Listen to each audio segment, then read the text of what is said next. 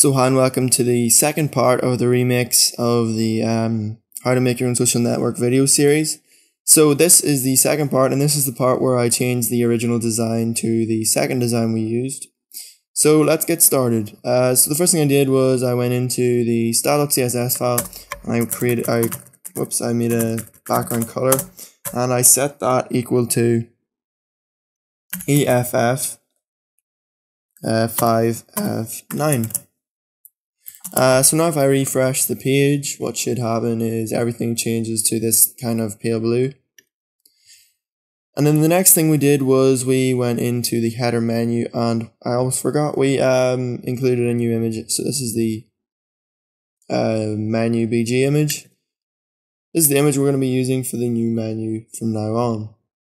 So um, I'll just get rid of this background color and I'll change it to background uh, image.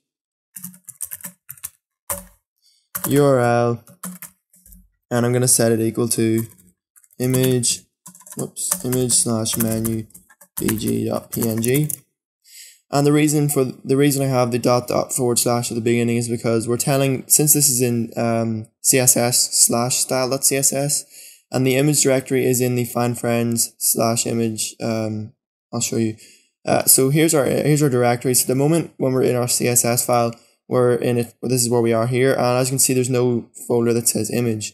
So what we want to do is we want to go up one directory, which is back to the find friends directory, and we want to go into the image directory to get the menu bg.png image.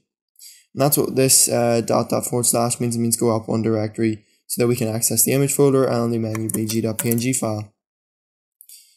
So the next thing I'm going to do is I'm just going to copy this menu or background image URL and I'm going to paste it here and we're going to refresh.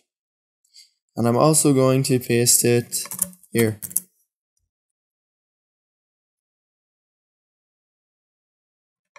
Let's try this one as well. Um, okay, so that's almost it, except everything's not the, quite the right size. So we need to fix that now.